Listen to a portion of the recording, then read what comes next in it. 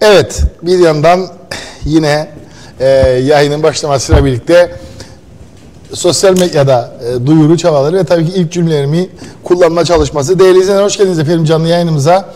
E, bugün ülke gündemine dair e, yine değerli bir milletvekili, bir e, hatta yeni kurduğu, kurulan bir partinin genel başkanı geçtiğimiz günlerde İçişleri Bakanlığı'na başvurusu yapıldı. E, 4-5 gün önce konuşmuştuk. Perşembeye e, set ettik. Kendilerine Perşembe günü uygun olduğunu söylediler. Onlar da bugün e, sağ olsunlar geldiler. E, kendilerine teşekkür ederiz. Bir taraftan tabii o da e, sosyal medyadan e, bu yayının duyurusunu yapalım. Oradan eğer bir soru gelirse oradan da e, tabii ki soruları yöneltiriz kendisine. Aslında öyle bir öyle bir e, gün ülke gündemi ki e, bazen bir iki soruyla program bitebiliyor. Bu da o gün öyle bir gün olduğunu düşünüyorum. Ee, partinin kuruluş çalışmaları gelinen aşama nedir? Çünkü e, her ne kadar şu anda bir milletvekili olsa da önümüzdeki bundan sonraki süreçle ilgili e, yani nasıl bir adım atacaklar? E, onların e, meclis içerisinde ya da işte bundan sonraki süreç bir e, ayrı bir yolda ilerleme e, yasalara göre seçime katılıp katılmama noktasında nasıl bir dönem? Erken seçimle ilgili görüşlerini ben çok merak ediyorum. Tavırları nedir? Hepsini soracağız. Millet Partisi Genel Başkanı, Milletvekili Bertan Zaroğlu canlı yayın konumuz. Bertan Bey hoş geldiniz. Merhaba, hoş bulduk. Nasılsınız? İyiyim, çok teşekkür ederim. Siz nasılsınız? Sağ olun, teşekkür ederiz. Bu arada paylaşımları yaptık. Tabii ki, buyurun. Ee, şimdi başvuru yapıldı geçtiğimiz günlerde. Ee, daha önce sizi konuk ettiğimizde henüz yani bir e, buradan partinin kuruluş e, duyurusunu yapmıştınız. Ancak bunun resme başvuru noktasında henüz yoktu. Geçtiğimiz günde bir resmi başvuru oldu. Ee, tabii bundan sonrası için yani bu yasal prosedür, e, işte 6 ay içerisinde seçime katılıp katılmama noktası gibi konular, soru işaretleri duruyor. Ee, bunları nasıl çözümlemeyi düşünürsünüz? Onun için yani erken seçim konusundaki görüşünüzü merak ediyorum. Nasıl tavır alırsınız? Ee, mevcut hükümete olumlu oy veren bir e, yani güven oyuna olumlu oy veren bir vekil olarak bu konudaki güncel verilerinizi, güncel görüşlerinizi merak ediyorum. Tekrardan hoş geldiniz diyelim. Aslında buyurun. Evet. Nedir şimdi Millet Partisi ile ilgili e, başvuru yaptınız? Hayırlı olsun. Çok Nasıl bir teşekkür süreç ederim. var?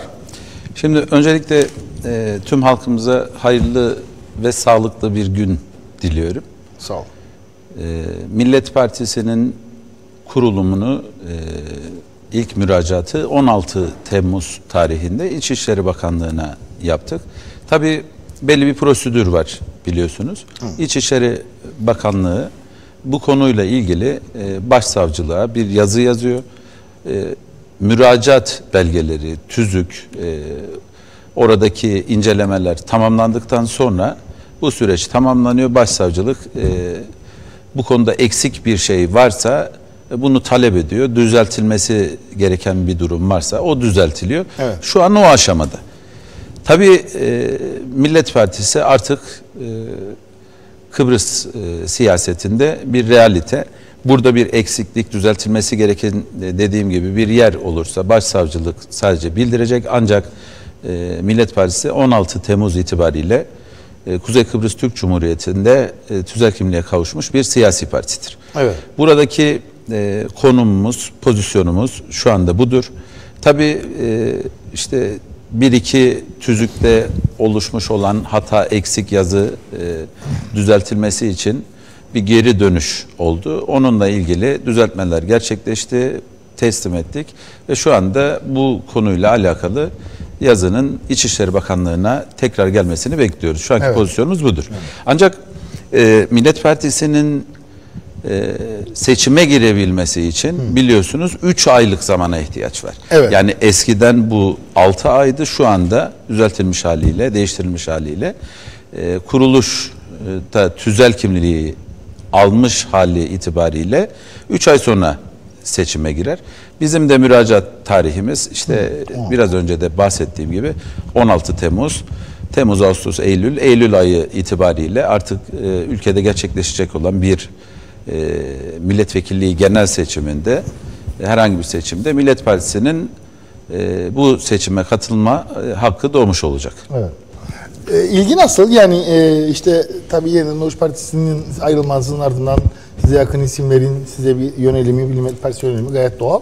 E, kurduktan sonraki ilgiyi ya da geri dönüşleri nasıl buldunuz? Ya da tepkileri nasıl buldunuz? Evet şimdi e, aslında Kıbrıs siyaset tarihinde bir ilk gerçekleşiyor. Yani ne kadar önemsizleştirilmeye çalışılsa da e, bir siyasetçi bulunduğu siyasi partiden ayrılıyor ve ayrılırken yanında 50 kişi gider, 100 kişi gider, 200 kişi gider.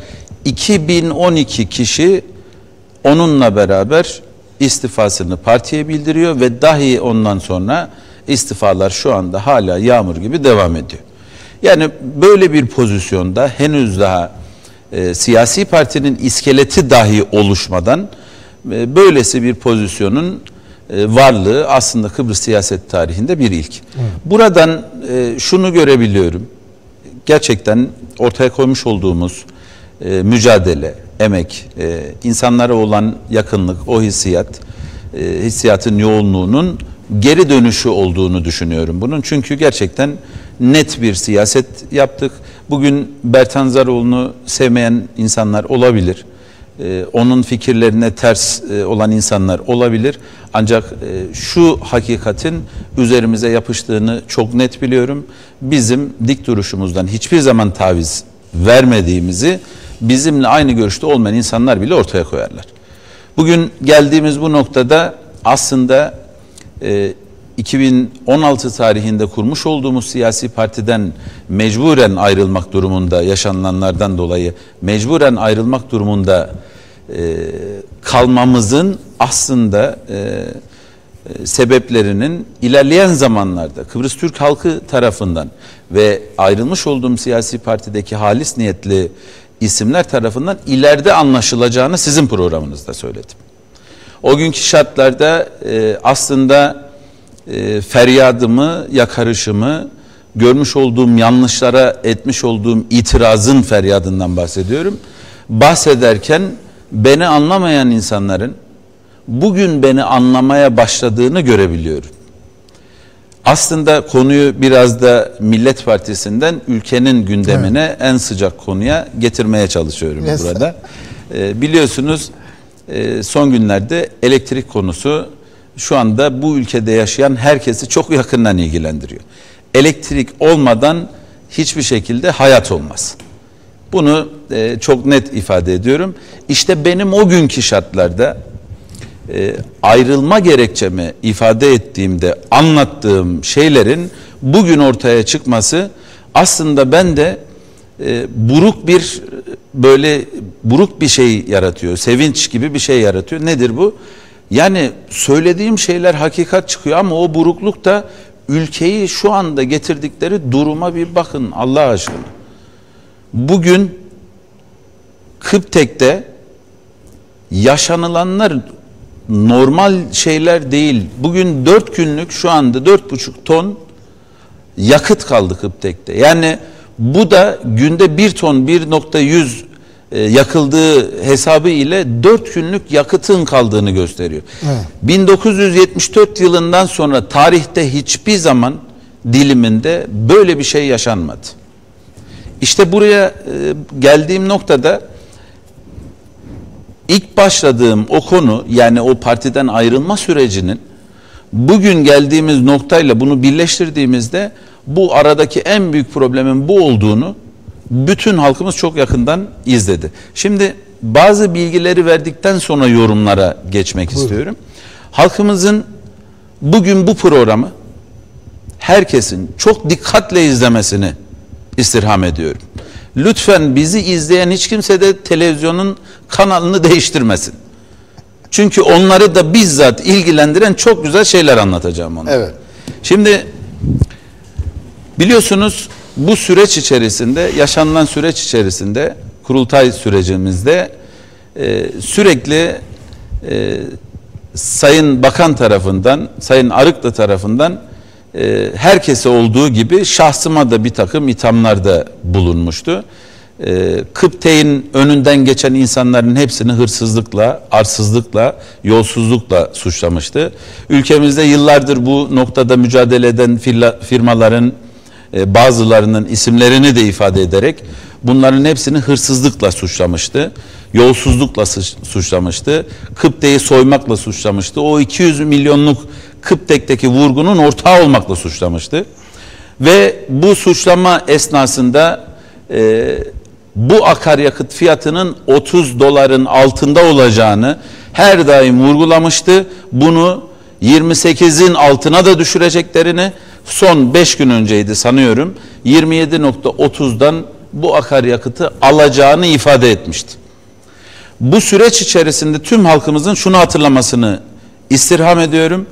Bu süreç içerisinde bu firma bahse konu firmadan efendim bu konuda eleştiri yapan milletvekillerine kadar sevgili Salahi Şahiner kardeşimize, şahsıma bu noktada eleştiri yapan herkese işbirlikçi olmakla, vurguna ortak olmakla, arsızlığa, hırsızlığa ortak olmakla suçlayan Erhan Arıklı hırsız dediği adamların paçasına yapışıp yalvarır, yakarır pozisyonda dört günlük kalan elektrik e, noktasında yardım talep etmekte şu anda. Bugün de basında yer alan şekilde. Bakın ihale dün açıldı. Akaryakıt ihalesinde Tipik isimli firma Sayın Arıklı'yla da özdeşleşen Tipik isimli firma 41 dolar fiyat teklifi verdi ihalede. 32'yi almadık. İptal ettik. 41 dolar fiyat teklifi verdi. Diğer yerli firma 36 dolar fiyat teklifi verdi. İkinci oturuma girildiğinde aynı o tipik denen firma 35.19 dolardan fiyat verdi. Yerli firma için ise 33.38 dolardan. Bakın bu bilgileri şu anda veriyorum. Geleceğim noktayı bütün herkes görecek. 35.19'dan fiyat veren tipik aslında daha önce 34 dolardan, 32 dolardan ve 30 dolardan ihalesiz bir şekilde ihale yapılmadan Bakanlar Kurulu kararı ile Sayın Arıklı'nın götürdüğü önergeyle 100 bin tona yakın bu firmadan akaryakıt alındı. Bu fiyattan da bunun taşıması gerçekleşti. Bugün geldiğimiz noktada 100 bin tonluk bu firmanın getir, bu getiren firmanın vermiş olduğu fiyat 35.19 dolar. Bakın biz 32 dolardan bunu iptal ettik. Şimdi burada akıllara şu soru geliyor. Bugün son dönemde de herkesin yakından takip ettiği ve tüm basın kuruluşlarında e, boy boy resimleri çıkan o santraldeki o kara dumanların sebebi nedir? Bu akaryakıtın kalitesizliğidir diye ortaya konduğunda kıyameti koparanlar buna ne cevap verecekler? Bugün 98 oktan benzinin yerine 95 oktan benzini 98 oktan fiyatına bu ülkeye kakaladılar. O, o kötü akaryakıtı ve onun cezasını da halk çekiyor. Şu anda o Teknecik santralinden yükselen o kara dumanların sebebi budur işte. Aslında bize bedavaya getirselerdi, yani bu taşımayı bedavaya yapsalardı yine kardaydılar. Çünkü akaryakıtın kalitesi örnek verdiğim gibi atıyorum 95 oktanı 98 oktan fiyatına o da benzin bu da benzin şeklinde bu ülkeye kakaladılar. Bakın şu anda reel rakamlar konuşuluyor. 41 dolar fiyat veriyorlar. Efendim 35.19 dolara düştüler ikinci oturumda. Ne oldu? Hani 27.30'dan alacaktınız. Bu kadar akaryakıt ihaleleri iptal oldu. 8 aydır 8 aydır şu ülkede bunu yapamıyorlar. Nedeni ne biliyor musunuz? Bakın o 100 bin ton hani laf kolay geliyor ya hani dile 100 bin ton 46 milyon dolar yapıyor. 46 milyon dolar. Aradaki fark 450 dolar değil de 460 dolar değil de 350 dolar olsa Aradaki o fark ne kadar biliyor musunuz? 11 milyon dolar. Adama demezler mi? Ne kadarını aldın? 11 milyon dolardan bahsediyorum. Demezler mi bunun ne kadarına ortaksın? Bu kadar şaibeli duruma bu kurumu iten halkı da elektriksiz bırakma yönünde çok büyük bir gayret içerisinde. Ve bunlar yaşanırken bu süreç içerisinde eleştiri yapan bizler, bizler bu sebeplerle yaşananları görerek itiraz ettik ve partiden ayrılmak durumunda kaldık. Çünkü gördük yaşananları. Bu halk bizi bir gün anlayacak dedik ve bugün bizi anlamaya başladılar insanlar. Bugün geldiğimiz noktada aradaki neredeyse 10 milyon 8-10 milyona yakın bir fark oluşuyor. 1 dolar farkla. Bakın 1 dolar farkla. Peki demezler mi ya? O 1 dolarlık fark 10 milyon dolar yapıyor. Bunun kaçına ortak oldun be arkadaş sen? Bu halkı nasıl bu duruma kadar getirdin diye sormazlar mı? Akıllara gelmez mi bu? İşte o günkü şartlarda Levent Bey o gün eleştiri yapan bizlere bu falanca firmanın karşımıza çıkarttığı aday deyip insanları kandırdılar. Salahi Şahiner eleştiri yaptığında o haklı eleştirileri karşısında Salahi bu firmaların sözcülüğünü yapıyor dedi. Başka birisi bir şey söylediğinde efendi bu vurguna ortak dedi. Şu gün geldiğimiz duruma bakın. Şu yaşadıklarımıza bakın. Ya benim yaşadığım kurultay sürecinde benim o kurultay sürecimde şahsımı ima ederek suçlamalar yapan benim karşıma birileri tarafından aday çıkartıldı Bertan diye o birileri diye ifade ettiği firmanın yakasına paçasına yapıştı yalvar yakar şu anda o firmadan yardım alıyorlar. Bu hani halkımızın bu 8 aylık süreç içerisinde bu kurumda 200 milyon vurgun var. Bu kurumu soyuyorlar diye bağırıyordu ya. Kelle koltukta sonuna kadar gideceğim diyordu ya. O hırsızlıkla suçladığı, arsızlıkla suçladığı firmayla şu anda beraber çalışıyor. Sayın Bunun hesabını bırakın bu dünyayı o bir dünyada veremeyecekler. İtiraz ettiğimiz noktada o tarihin çok önemli filmlerinden bir tanesi diye anlatmıştım yine sizin programınızda. Zübük filminde adam diyor ki yahu cami yapmaya gerek yok. Şu anda yapmamız gereken okul hiç okulumuz yok ama 50 tane cami var dediğinde dinsiz diye adamı eyyam yaparak susturan karakterin pozisyonuna düştüler şu anda.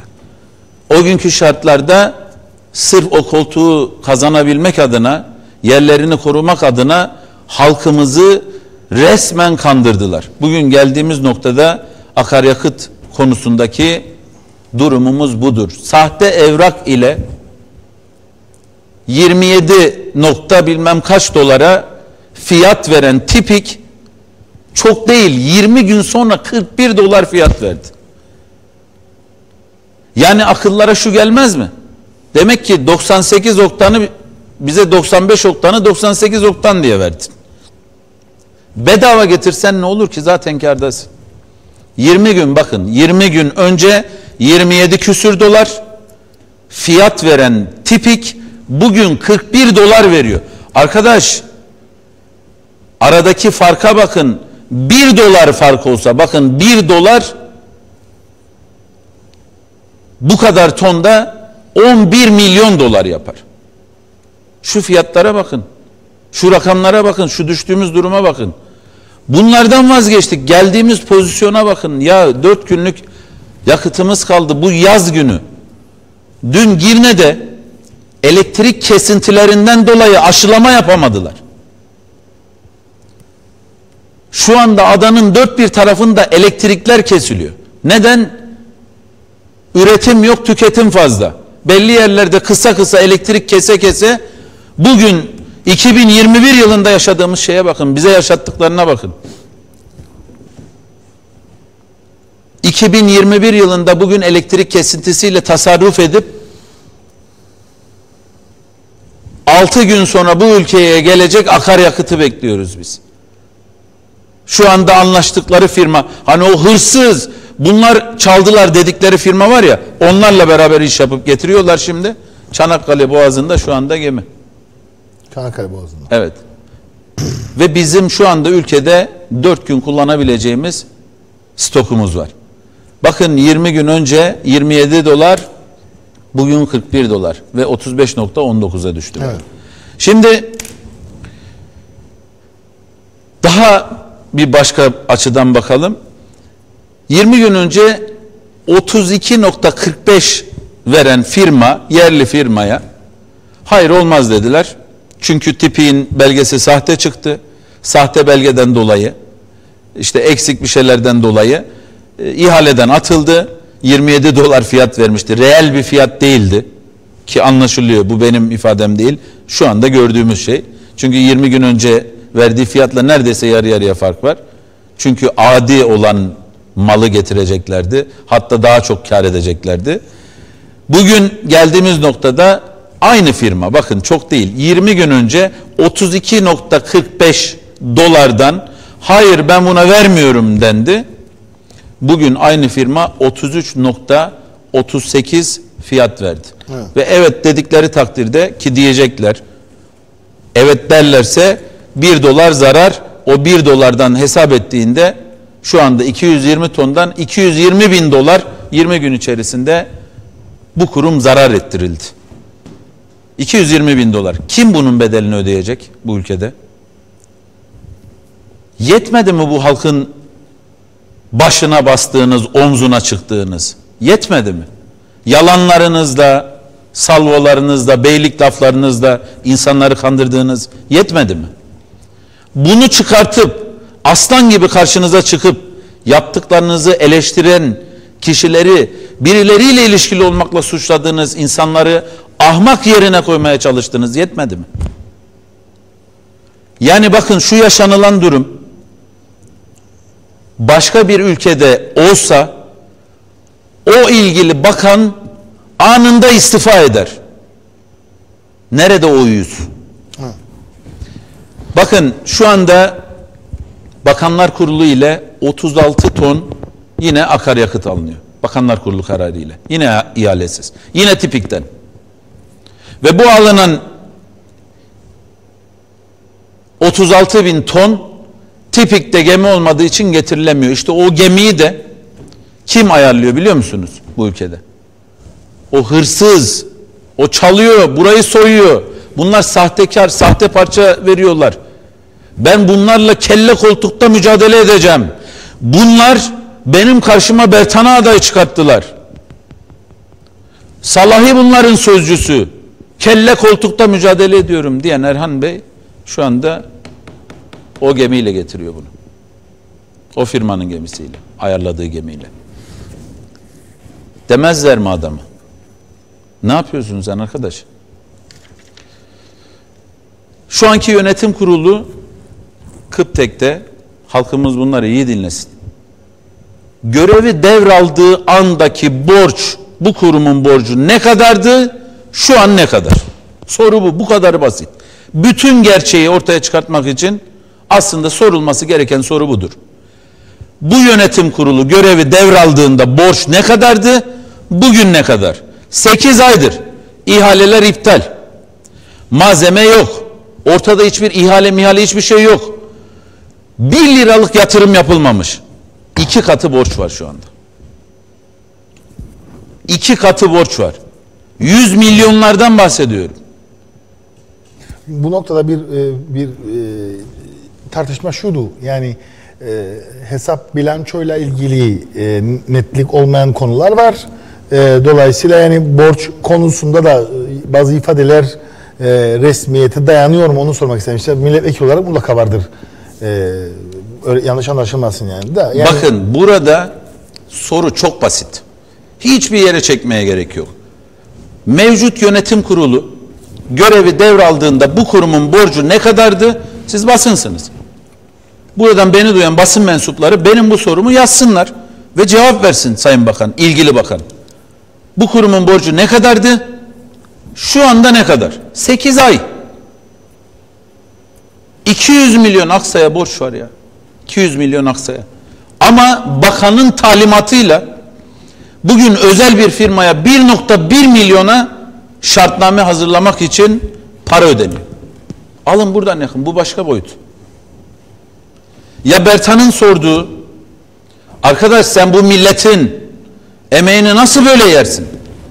1.260 milyona iş yaptın burada özel bir firmaya. Her televizyon programda soruyorum cevap yok cevap. 1.260 milyona. Ne işi yaptı biliyor musunuz? Jeneratör geliyor Türkiye'den dediler. Gemilere bindi şu anda gemide jeneratör gemide. Alel acele hemen burayı yaptırmamız lazım. 1.260 milyon para ödediler. Alel acele yaptırmamız lazım. Gemiye bindi de, dediler. İhaleye çıkmadılar. 40 bin üzerine ihale çıkmaları lazım. İhalesiz 1.260'ı verdiler firmaya. 8 ay oldu. Sayın Bakan nerede jeneratör? Hani bu jeneratörler? Çık. Delikanlı gibi bu memlekete de ki yalan söylüyor, yanlış söylüyor. Mücahit olarak çıktığı yolda müteahhit oldu Sayın Bakan. Mücahit olarak çıktım dedi. Ben bunun mücahitliğini yapacağım. Ezilenlerin sesi olacağım dedi. Mücahit de müteahhit oldu. Hiç kimseye derdini anlatamaz. Şu sorduğum soruların cevabını verene kadar Bertan Zaroğlu bu halkın hakkını savunmaya devam edecek. Yanında 3-5 tane adam bulmuş, onu koymuş spor dairesine, bunu koymuş bilmem ne dairesine, onu koymuş bilmem ne feder federasyonuna. Tetikçilik yapıyorlar sosyal medyada. Halkı yanlış yönlendiriyorlar. Bunun bedelini hem bu dünyada hem o bir dünyada ödeyecekler. Onlar da kurtulamazlar. Yanındaki avaneleri de kurtulamazlar. Bu milletin kanını emiyorlar şu anda. Biz o mücahit olarak çıktığımız yolda mücahit olarak devam ediyoruz. Onlar gibi değiliz. İsteseydim susardım. Sizin programınızda aylar önce çıktım burada beni bir gün anlayacaklar dedim. İşte o noktadayız. Geldik o noktaya. Yazık günah değil mi ya? 1.260 milyona sen özel bir firmaya ihalesiz veriyorsun ve gerekçe olarak geldi gemiye bindi diyorsun. 8 aydır o gemi Türkiye Cumhuriyeti'nden buraya yanaşamadı. O gemi buraya yanaşamadı 8 aydır. Soruyorum tek bir kişi cevap vermiyor buna. Kardeşim yönetim kurulu var orada 7-8 kişi. Biriniz çıkın cevap verin buna ya. Olmadı böyle değil. Ya bakanın talimatıyla 1.1 milyonluk iş, Aksa'ya 200 milyon borç var ödenmemiş. Borçlar iki katına çıkmış şu 8 aylık süre içerisinde. Bas bas bağırıyor Sayın Bakan. Uluslararası ihale açacağım. Buradaki vurgundan bahsediyor. O suçladığı firmalarla şu anda kucak kucağa. Uluslararası ihale açacağım. Yahu yerli firmalar, benim esnafım, sen uluslararası ihale açacaksın, benim esnafım niye kazanmasın ya? Kime açıyorsun bu yerli ihaleyi? Açtığın yerli ihale, e, uluslararası ihale tipik, Eltemtek, TEDAŞ, TEYAŞ. Türkiye Cumhuriyeti'nde firmalar. Bana ne ya? Benim ülkemde yerli yatırımcı, yerli esnaf varken iç piyasaya bu para akacakken bana ne ya Türkiye Cumhuriyeti'ndeki firmadan? Niye benim buradaki yerli firmama bu para kazandırılmıyor? Uluslararası ihale açacağım. Gördük açtıkları ihaleyi. Bakın anlatıyorum. Çıksınlar bunlara cevap versinler. Şu ana kadar bizi getirdikleri durum resmen büyük bir felaket. Bugün geldiğimiz noktada bu yaşanılanlar birbirlerini tehdit ederek, birbirlerine söylemlerde bulunarak al gülüm ver gülüm şeklinde bu işi götürmeye devam ediyorlar. Gelin bu hükümete destek verin. Evet bu hükümete destek verdik, başladık. Ee, iyi niyet göstergesi olarak iyi yaptıkları işleri takdir edeceğiz. Yanlış yapıldığında da hükümet milletvekili olsam dahi eleştireceğim diye ifade etmiştim. Sonuna kadar da bu sözümün arkasında durdum. Hı. Gelmiş olduğumuz noktaya gelirken son süreçte biliyorsunuz hayat pahalılığından dolayı kesintilerde ben hala da istifa etmemiştim. YDP milletvekili olarak o dönemki o süreçte meclis kürsüsüne çıkarak asla böyle bir duruma halkımızı düşürmem bu kesintileri bu süreç içerisinde bu halktan yapılmasını kabul etmem deyip orada hükümet milletvekili olarak bu işlere karşı durmuştum. Gene aynı noktadayım. Hiçbir şekilde böyle bir hükümete desteğim asla olamaz benim. Tam nokta odur çünkü e, yani e, hatırı sayılır bir e, izleyici profili şu anda e, potansiyeli yüksek e, izliyoruz. Elbette sizi sevenler ya da destek verenler çok arada e, e, bir noktada e, aynı soru birkaç kez soruldu. E, madem eleştiriyorsunuz hükümete desteğinizi niye çekmiyorsunuz diye Böyle bir şey yok. soruyorum. Ben bunu aylardır açıklıyorum. Zaten yani yapılan bu yanlışları bakın aslında şunu iyi görmek lazım. Evet. Bu geldiğimiz noktayı Bertan aylar öncesinde anlattı zaten. Bakın buraya gidiyoruz dedim sizin programınızda dedim. Bugün yine sizin programınızda haklı çıktığımı burada anlatıyorum işte. Defalarca televizyon programlarında söyledim. Bu mevcut halde bu şekildeki bir hükümete bu yapılan yanlışlıklara desteğim yok. Fakirin, fukaranın, garibin, gurabanın hakkını yiyen birisi o hükümetin kabinesinde varken bu hükümete destek vermem ben. Cumhurbaşkanı yapsalar beni, gel Cumhurbaşkanı yapacağız deseler benden o desteği alamazlar. Bunu defaatle anlattım. Ancak burada bu soruları belki izlemeyen, daha önce bunu duymayan insanlar sormuş olabilir. Ama bakın bilinçli olarak da önemsizleştirmeye çalışan belli bir kitle var, belli tetikçiler de var. Onu anlatmaya çalışıyorum. Yani her gördüklerine de inanmasınlar. Bakın şu yaşanılan konular aylar öncesinden benim tespit ettiğim konular. Bunları çıkmış olduğum her televizyon programında anlatıyorum. Soruyorum, cevap alamıyorum. Çıkıp şuna cevap versinler. Ya bu ülkede sokak lambaları yanmıyor ya yanmıyor. Lamba ihalesini iptal etti ya Sayın Bakan. Lamba ihalesini iptal etti. Sokak lambaları yanmıyor. Halk aydınlatma ödüyor ya. Halk bu parayı ödüyor. Paşa paşa ödetiyorlar. Ama sokaklarda aydınlatma yok. Ya 3-5 ay önce arkadaşımızın çocuğu öldü ya. Bu yolda. Bunun hesabını kim verebilir ya? Bunları çıkıp sorduğumuz zaman eleştiren kişi olarak yafta vuruluyor bize. Sayın Bakan Salahi Şahiner falanca firmanın sözcüsü diyor o firmanın kucağına oturuyor ya.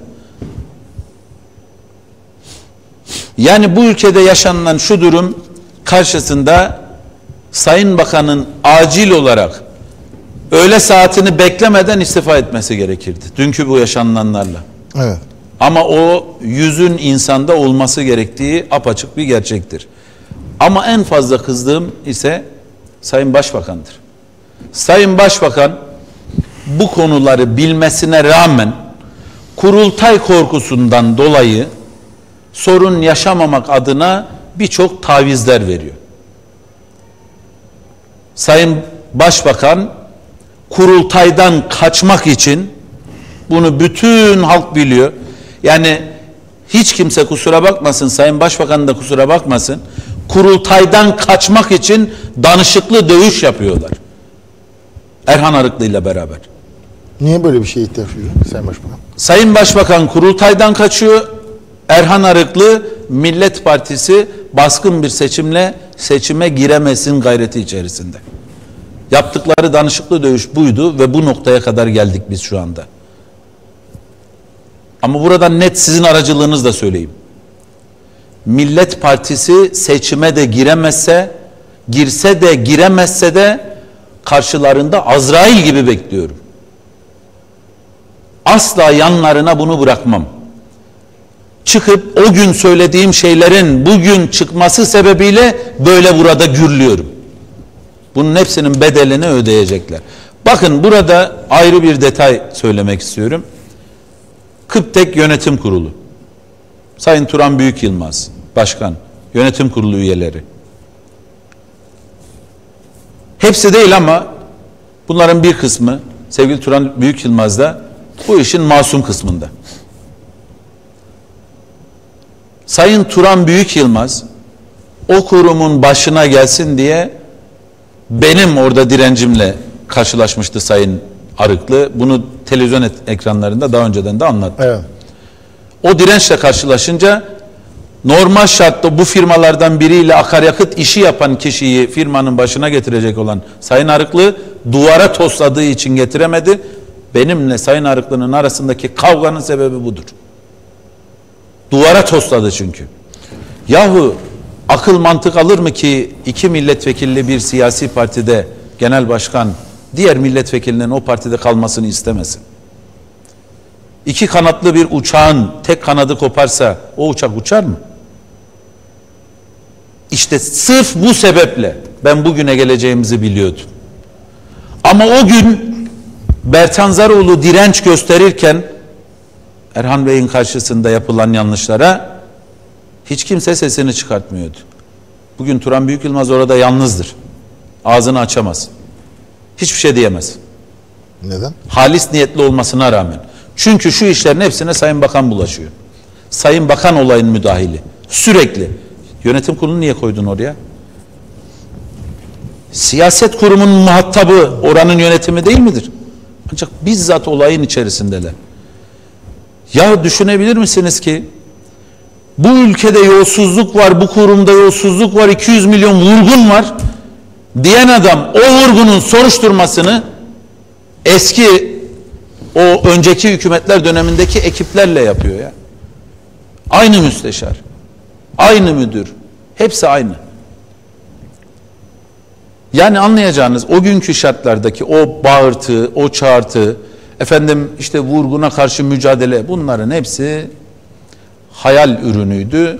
Buhar olup uçtu gitti. Şu anda gerçekler kaldı önümüze. Ve bu gerçekler maalesef şöyle bir acıyla önümüze geldi. Şu anda bu ülkede karanlıkta kalmamak için dört gün sonra, beş gün sonra hadi elektrik kesintileri yaparak tasarruf ediliyor. 5-6 gün sonra bu ülkeye o akaryakıtın gelmesi lazım. Gelmediği takdirde karanlıklar içindesin. Niye? Çünkü o jeneratörler efendim bir kısmı arızalı, bir kısmı tadilatta, bir kısmı çalışmıyor şeklinde ifade ediliyor ama Aksa'nın da bu noktada alacağını alamadığı için belki de bilemiyorum yani burada bir bu şekilde bir reaksiyonu da olabilir. Geldiğimiz durum maalesef bu şekilde işler acısıdır. Ama şunu söylüyorum, tekrar ediyorum. Millet Partisi'nin seçime girip girmemesinin hiçbir önemi yok. Gireceğiz seçime öyle görünüyor. Ancak kursağında kalır bunların. Bu arkadaşlar zannediyorlarsa ki bu partiyi ben seçime sokmam, aman baskın seçim yaparım. Diğer taraftan Sayın Başbakan kurultaydan kaçtığını bütün dünya zaten biliyor. Kaçmaya çalıştığını bütün dünya biliyor. Bir türlü de başaramıyor zaten. Bunların hiçbir şekilde bizim önümüze engel olmayacağını çok net söylüyorum, ifade ediyorum.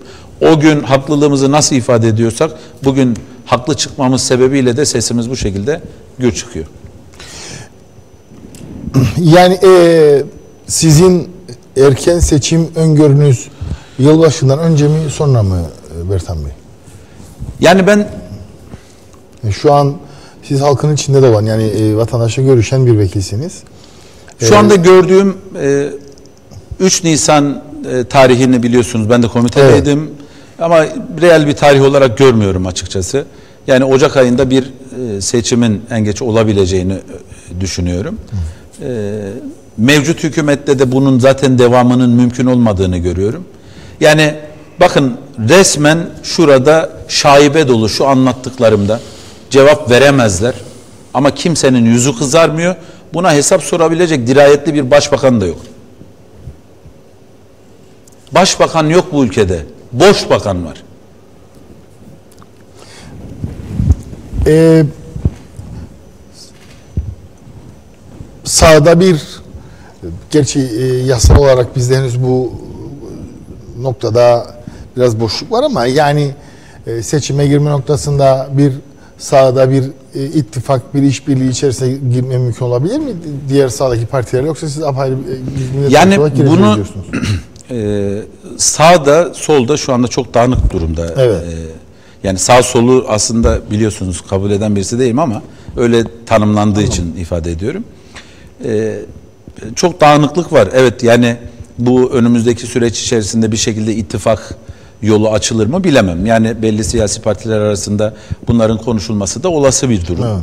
Ee, ama şu ana kadar bununla ilgili e, buna benzer herhangi bir somut bir bilgiye e, sahip değilim. E, Bu konuda herhangi bir bilgim yok.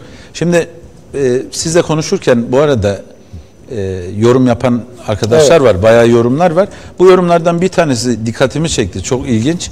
E, Türkiye düşmanlığı yapma diyor bana. İşte kendi meselenizi içinizde çözün diyor. Yani Türkiye düşmanlığını şu şekilde herhalde addediyor. E, bakın yine diyorum beni ilgilendirmez. Türkiye'deki bir firma. Burada beni ilgilendiren kendi yerli firmamdır. Kendi esnafımdır. Kendi iç piyasamdır. Uluslararası ihale açacağım, uluslararası ihale açacağım deyip eğer benim ülkemin esnafı, benim ülkemin iç e, piyasası bundan mağdur ediliyorsa ben buna itiraz ederim. Bunu hangi akıl, hangi izanla Türkiye düşmanlığı olarak tanımlarlar bunu anlamakta gerçekten güçlük çekiyorum. Şayet gerçek bir profilse onu da bilmiyorum yani. Evet yani bu ben az önce yine bunu anlatmaya çalıştım aslında. Ee, yani e, elbette sizi eleştirenler içerisinde e, yani birkaç eleştiri gördüm ama temel nokta çünkü zaten öyle bir şey Beni ki eleştirenler e, aile bireyleri eleştirdiğim kişilerin. Yani soy isim farklı yanıltmasın yok sizi. ondan değil. Ben Ha. şunu söyleyeyim yani ben orada kimsesinin e, sadece o yani bu hükümete destek konusu çünkü orasını aldım ben sadece. Benim için önemli nokta o. Onun için orayı sormaya ihtiyaç hissettim. Yani e, yoksa birinin şey, ama Fakirin, fukaranın, garibin, gurabanın hakkını yiyen birisinin bu kabine içerisinde olması durumunda bu hükümete desteğim yok. Bu hükümete desteğim ancak bir noktada olabilir. Bugün bu ülkede mağduriyet yaşayan ve kendi ellerinde olmayan bir durumdan mağduriyet yaşayan binlerce insan var ve bunlar için biz yasa hazırladık mecliste. Bu yasanın geçmesi için af yasasının geçmesi için şayet o meclisi açmak isterlerse bugün en başta birinci ben koşarak giderim oraya. Buradan çağrı yapıyorum hükümete zaten. Yani 1 Ekim'i neyi bekliyorsunuz? Çok mu hak ettiniz yani? Çok mu hak ettik tatili? Ne yapı ne yapıldı yani? Ülke yangın yeri. Böyle bir durumda o meclisin kapalı olması zaten kabul edilebilir bir durum değil. Olağanüstü oturuma açabiliriz. Yani bu mağdur olan insanların bu mağduriyetini giderebiliriz. Neyi bekliyorlar? Şu an geldiğimiz durum ne biliyor musunuz? Bakanlar bakanlığa hapsolmuş durumda gündelik işler, rutin şeyler dönüyor. Kendi kendilerine bir çark kur- kurmuşlar. Resmen o çarkı döndürüyorlar. Başka yaptıkları hiçbir şey yok. Olumlu atılan hiçbir adım yok. Şayet bu hükümet mecliste destek isterse nisaba dediğim gibi bu şartlar altında e, çağrılırız biz de koşa koşa gideriz. Ancak onun haricinde bugün yaşanılan bu şeylere rağmen bunlara cevap vermeden hiçbir yere kurtulamazlar. Bu sorulara cevap verecekler. Jeneratör nerede 8 aydır? Yola çıktı, gemiye bindi dediniz 1.260 milyon gittiniz ihalesiz o firmaya verdiniz. Demezler mi adama bunun kaçı senin kardeşim? Ne kadarını aldın? Düşünmezler mi böyle? Ortağı mısın bu firmanın bu işte? Demezler mi? Çıkıp cevap vermiyorsunuz buna. Müdahale ediyorsunuz. Bakan müdahalesiyle 1.1 milyona diğer taraftan yazılım için 1.1 milyona iş veriliyor özel bir firmaya. Bunların hepsinin cevabını vermek zorundalar. Peki. Eklemek istediğiniz bir şey var mı? Yani biraz bu konuda dünden beri bu yaşanılan şeyleri yakından takip ediyorum. Çok kızgınım açıkçası. Arkadaşlar zaten cevap e, veremedikleri gibi dediğim gibi kendilerine bu eleştiriyi getirenlere bugüne kadar hep suçlama yapmışlardı. Şu an ben merakla şu söylediğim programda söylediğim şeylerin cevabını bekliyorum. Lütfen çıkıp bunlara cevap versinler. 28 dolara getireceğim dedi. 5 gün önce 27.30'a getireceğiz dedi. Bugün firmanın verdiği fiyat 41 dolar 35.19'a düştü. Diğer firma daha düşük veren yerli firma 33.38. Aynı adam, aynı kişi, aynı firma 32. Paylaşımın altında o şeyi evet 32 dolardan fiyat verdiğinde iptal ettiler ihaleyi. Şu anda 1 dolar fazlasına aynı firma, aynı kişi, aynı şey 20 gün önce. Nasıl olacak bu iş ya? Evet diyecekler. Demezseler olmaz. Deseler kendileriyle çakışacaklar. Nasıl olacak? Bunun açıklamasını Sayın Bakan'ın muhakkak yapması gerektiğini söylüyorum. Neden Sayın Bakan'ı söylüyorum? Normalde muhatap yönetim kurulu. Evet Sayın Bakan'a bağlı. Ancak yönetim kurulunun orada bir şey söyleyecek dirayeti yok şu anda Sayın Bakan'a karşı. O partinin içinden Bertan Zaroğlu gitti. Şu anda tek bir hükümdar var.